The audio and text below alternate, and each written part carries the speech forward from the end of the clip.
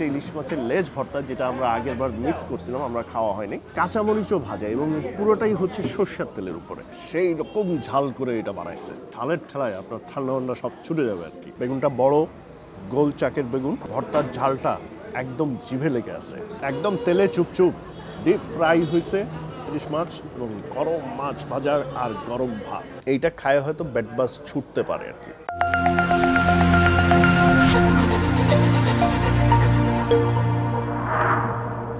Hi this is dine out with Adnan Dhaka Bangladesh সবাই নিশ্চয়ই ভালো আছেন আর অনেক অনেক খাচ্ছেন। আজকে একটা ট্যুরে বেরোচ্ছি, সেটা হচ্ছে খুলনা। আমরা খুলনা, যশোর, বিভিন্ন জায়গায় ট্যুর করব, সেগুলোর ভিডিও ইভেনচুয়ালি আসবে আপনাদের সামনে। বাট আজকে আমরা পুরান ঢাকা থেকে খুলনা মাওয়া ঘাট দিয়ে কীভাবে যাওয়া যায়, সেটা আমি আপনাদের সাথে শেয়ার করব।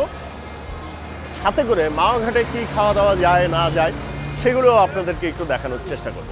সো চলেন, আমরা জার্নি স্টার্ট করি। লেটস গো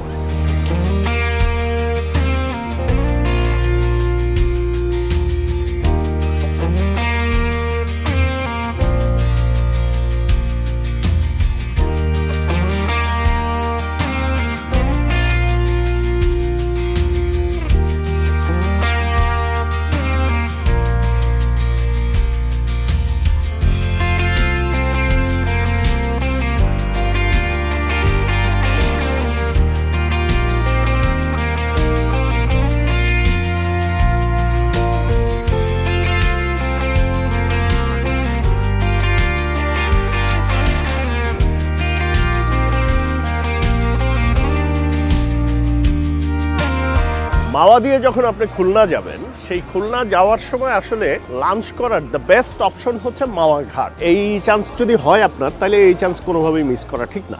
কারণ হচ্ছে এখানে কি পাওয়া যায়? মাওয়া ঘাটে ইলিশ মাছ টাটকা ভাজি করে দিবে আপনাকে। ইলিশ মাছের লেজ ভর্তা থাকে, বেগুন ভাজি থাকে আরও অনেক রকমের তরকারি থাকে। বাট যেহেতু ঢাকা থেকে মানুষ প্ল্যান করে, প্রোগ্রাম করে রাতের বেলায় ইলিশ মাছ খেতেই আসে মাওয়াতে সো আমরা যখন খুলনায় যাচ্ছি অন দ্য ওয়েতে মাওয়া পাইছি সো আমরা এটা মিস করব কেন? আর লাস্ট টাইম আমরা যখন মাওয়ার ভিডিও করছিলাম, তখন আমাদের ইলিশের লেজ ভর্তাটা খাওয়া হচ্ছিল, ওইটা আমরা মিস করছি। সো আজকে আমরা সেই মিসটা করতে চাই না। চলেন আমরা একটা ইলিশ নেই মিডিয়াম সাইজে নিয়ে আমরা ওইটা দেখি কি অবস্থা হয়।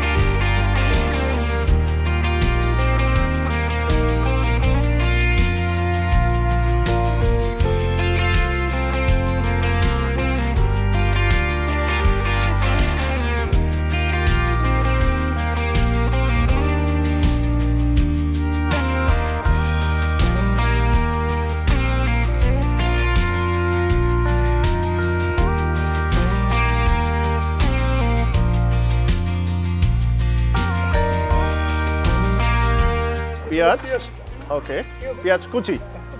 একটু লবণ। লবণ। আর এই মরিচটা শুকনো মরিচ আগে ভেজে রাখছিলাম ভর্তার জন্য। আচ্ছা। শুকনো মরিচ ভেজে তারপরে গুঁড়া করা না?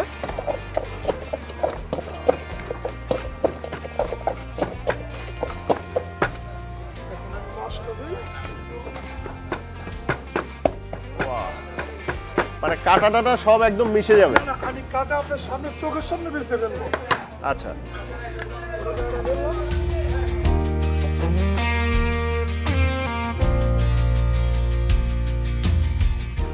কাটা শেষ। ওকে। ধন্যবাদ দিলাম। ধনিয়া পাতা কুচি? এই মরিচটা সবচেয়ে লেগে ভর্তা ফেলাটা খুব ভালো হয়। ঠিক হ্যাঁ। আছে? হাতের ভেঙে দিলাম। ওকে। একটু সরিষার তেল দিয়ে দিলাম। সরিষার তেল। এটা হলো মাছ বাজার ইলিশের তেল। ইলিশের তেল। ওয়াও। সেই রকম জমবে আর কি। সরষের তেল প্লাস হচ্ছে যে তেলে আবার মাছটা ভাজা হয়েছে সেই তেলের অ্যারোমা ইলিশের অ্যারোমা পুরাটা। জমছে? ওকে চলেন ইলিশ ভাজা বেগুন ভাজা লেজ ভর্তা। পেঁয়াজ ভর্তা করে দিই পেঁয়াজ ভর্তার আচ্ছা। মজা। আচ্ছা। লবণ ধনিয়ার পাতা মরিচের ফাঁকি সরিষার তেল। লেবু দিয়ে দিলাম।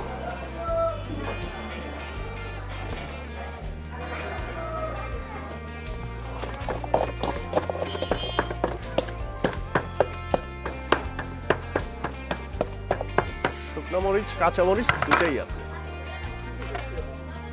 ইলিশের তেল। একটু আচার দিয়ে দেয় আচারটা খুবই মজা। আচারও ভর্তা হবে নাকি? অনেক মজা অনেক মজা। আমি দেখেন কীভাবে করি। এটা কিসের আচার? এটা হলো আমাদের নিজের তৈরি আমের আচার। আমের আচার।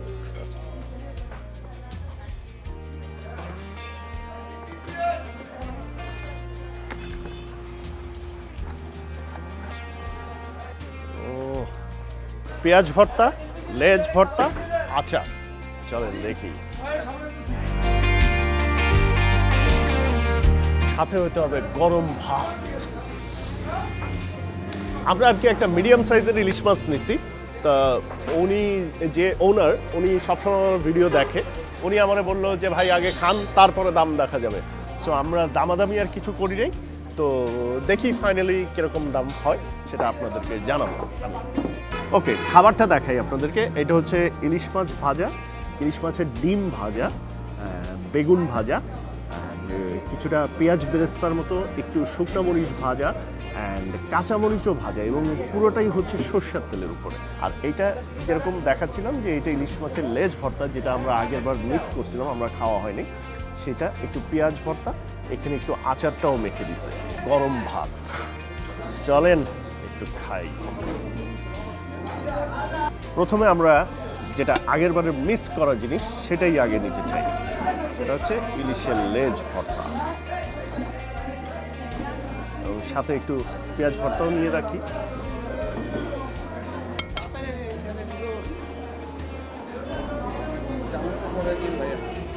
অ্যান্ড একটু আচার। চলেন, শুরু করি। আহ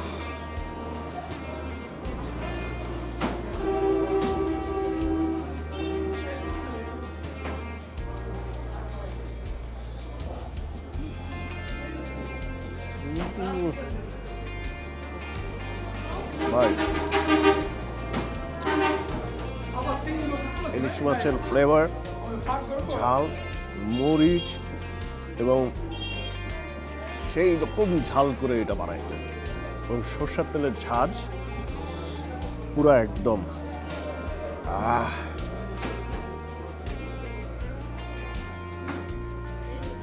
একটু ঠান্ডা ঠান্ডা আছে। ঠান্ডা বাতাস, ঝালের ঠেলায় আপনার ঠান্ডা ঠান্ডা সব ছুটে যাবে আর কি। পেঁয়াজ ভর্তা। একটু আচার নেই আর একটু লেজ ভর্তা।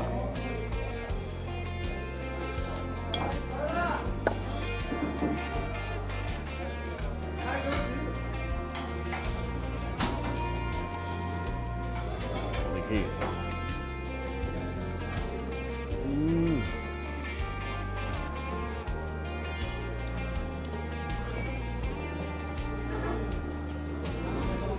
আচারটা ইলিশের সাথে নেওয়ার কারণে, আচারের ফ্লেভারের কারণে ইলিশের ফ্লেভারটা একটু মাইল খেয়ে যাচ্ছে।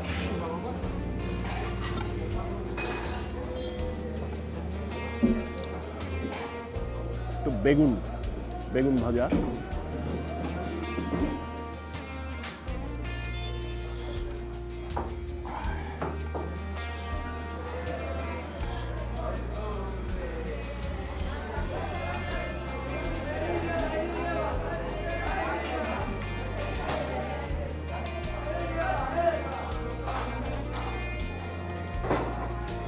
বেগুনটা বড়, গোল চাকের বেগুন চাক করছে চাক করে কাটা আর কি। ভর্তার ঝালটা একদম জিভে লেগে আছে।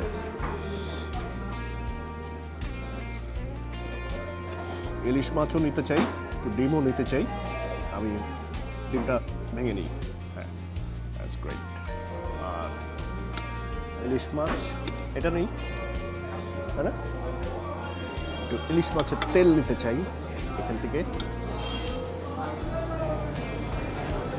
অ্যান্ড এই বেরেস্তা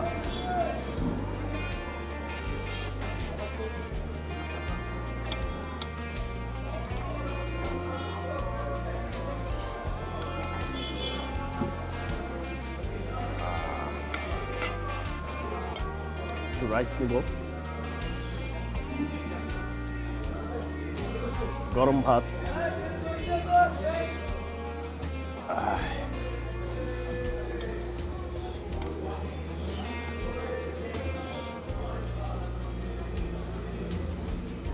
উম।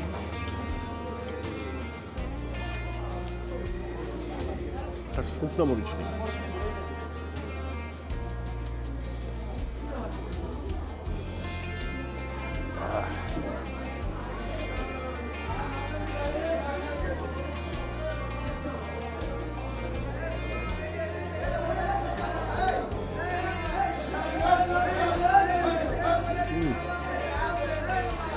একদম তেলে চুপচুপ। ডিপ ফ্রাই হয়েছে, ইলিশ মাছ এবং গরম মাছ ভাজার আর গরম ভাত।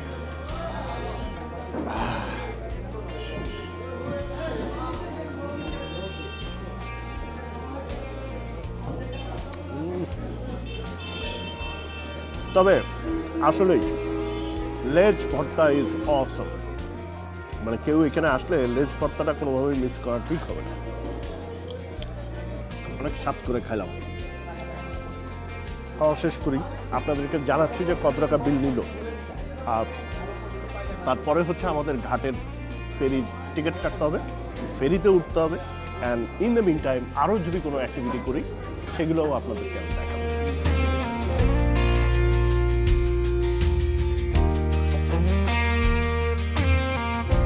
খাওয়া দাওয়া তো শেষ হয়েছে বাট তখন বলতেছিলাম না যে উনি বলল যে আগে খান।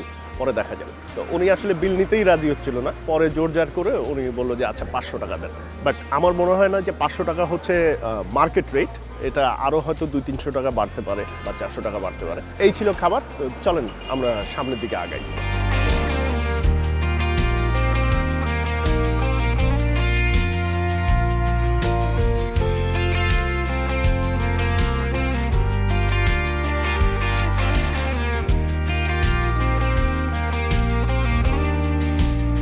মোটামুটি প্রায় তিন ঘণ্টা, সোয়া তিন ঘণ্টা জ্যামে বসে থেকে আমরা ফাইনালি ফেরিতে উঠতে পারছি।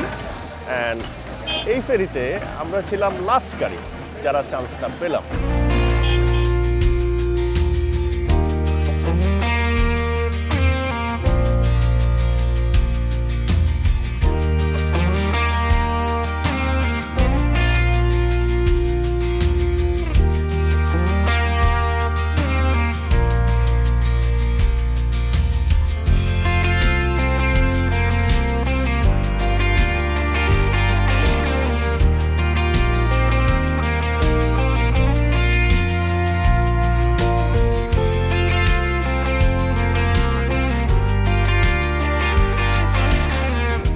মুহূর্তে আমাদের ফেরিটার ঠিক পদ্মা ব্রিজের নিচ দিয়ে পার হচ্ছে। এই যে আসলে কুয়াশার জন্য খুব ক্লিয়ার দেখা যাচ্ছে না দূর পর্যন্ত বাট আমরা যেরকম দেখতে পাচ্ছি যে এটা হচ্ছে পিলার টোয়েন্টি ফাইভ এবং ফেরির ওই দিকটাতে আরও আছে। সো এই যে ভিজিবল হচ্ছে আর কি পুরো ব্রিজটা এনিওয়ে আমরা জ্যাম ট্যাম এই সমস্ত মিলায়, কুয়াশা মিলায় ভিজিবিলিটি আসলে খুব বেশি ছিল না। সেই কারণে আসলে ফেরির অনেক দেরি হয়েছে। আমার মনে হয় যে আমাদের পৌঁছাতে, পৌঁছাতেই রাত হয়ে যাবে। তো দেখি কদ্দূর আমি তো আবার রাত কেন। রাত্রেবেলা গাড়ি চালাতে আমার খুব চোখে লাগে। চোখে লাগে মানে কি অপোজিট সাইডের গাড়ির লাইটটা খুব প্রবলেম করে।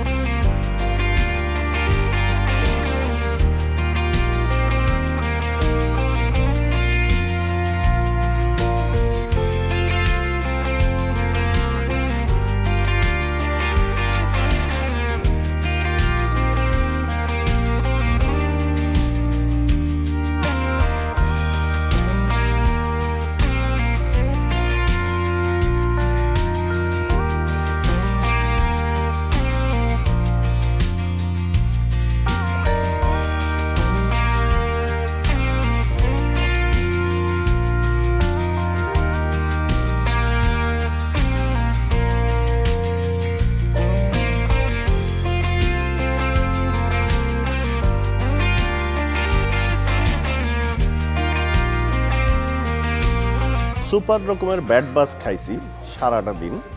সারাটা দিনের গল্পটা বলি। অনেক উৎফুল্লভাবে তো বামাঘাটে ইলিশ মাছ খাইছি এবং সেই রকমই খাইছি। খাওয়ার পরেই যেটা হয়েছে তিন ঘণ্টা ফেরিঘাটে জ্যামে বসেছিলাম ফার্স্ট দেড় ঘন্টায় ফেরি চড়ছি মানে তিন ঘণ্টা আর দেড় ঘণ্টা হয়েছে সাড়ে চার ঘণ্টা। সাড়ে চার ঘণ্টা ফেরি চড়ে আসার পরে আমরা ফাইন্ড আউট করছি যে আমরা ঘাটে নামতে পারতেছি না, কারণ আরেকটা ফেরি ওইখানে ভিড়ে আছে। তার মানে সেইখানে লাগছে আরও এক ঘণ্টা মানে সাড়ে চার ঘণ্টা আর এক ঘণ্টা মানে হচ্ছে সাড়ে পাঁচ ঘণ্টা। সাড়ে পাঁচ ঘন্টায় ইনফ্যাক্ট ঢাকা থেকে খুলনা চলে আসা যায়, পৌঁছে যাওয়া যায়, যদি আপনি ডিরেক্টলি ঠিকঠাক মতো আসতে পারেন। তো এই হচ্ছে আর কি রাস্তাঘাটের অবস্থা। এবং এটাতে এমন ব্যাটবাজ খাইছি, আমার আর কি আসার পরে এখানে আর কোনো শ্যুট করতে ইচ্ছা করে নাই। জাস্ট আমি আসছি ডিনারও শ্যুট করতে ইচ্ছা করে নাই, আমি জাস্ট আসছি একটা কফি খাইতে। তো এটা হচ্ছে কফি গ্লোরি কফি গ্লোরি তো কফি গ্লোরিতে আসছি একটা কফি খাইতে, যে আমার ফেভারিট আমেরিকানো অ্যান্ড এইটা খায় হয়তো ব্যাটবাস ছুটতে পারে আর কি।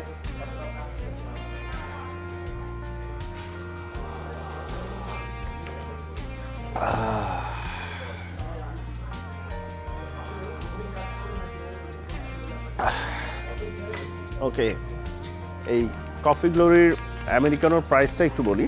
সেটা হচ্ছে আমরা দুইটা নিচ্ছি সো দুইটা হচ্ছে থ্রি হান্ড্রেড আমরা একটা পিৎজা নিচ্ছি টেক ওয়ে এটা হয়তো রুমে গিয়ে আমরা সবাই হালকা, আর খাওয়ার মুডও নাই। সো মানে এত টায়ার্ড আমরা রওনা দিচ্ছি ঢাকা থেকে সকাল সাড়ে সাতটায়। আমরা এখানে পৌঁছাইছি রাত্রি সাড়ে আটটায়। সো অ্যাবাউট থার্টিন আওয়ার্স আমি ড্রাইভ করছি। সো ওই এনার্জিও নাই। আজকে ফুড রিভিউ করার ইয়ে। সো আমরা এখন রুমে যাব, ওই পিৎজাটা খাব। That is our dinner so that's it video ভালো লাগলে প্লিজ গিভ এটা থামস আপ কমেন্ট শেয়ার করবেন চ্যানেল সাবস্ক্রাইব করবেন আমাদের মার্চেন্ডাইজ আমাদেরকে সাপোর্ট করতে চাইলে ডেসক্রিপশন বক্সে লিঙ্ক আছে, ওখানে গিয়ে অনেক ডিজাইন কালার ভ্যারিয়েশন আছে, আপনি ওইখানে কিনতে পারেন। আপনার বাসায় হোম ডেলিভারি চলে যাবে। ফুড কোর্টের লিঙ্ক আছে নিচে, যারা এখনও মেম্বার না মেম্বার হয়ে যাবেন। পৃথিবীর যেখানে যে রেস্টুরেন্টে যা খাচ্ছেন, খাবারের ছবি তোলেন, নাম লিখেন, দাম লিখেন পোস্ট করেন। কোনো লিঙ্ক শেয়ার করলে পোস্ট অ্যাপ্রুভ হবে না। আর হচ্ছে আমার ইনস্টাগ্রাম ফলো করবেন to get all the updates thank you goodbye good night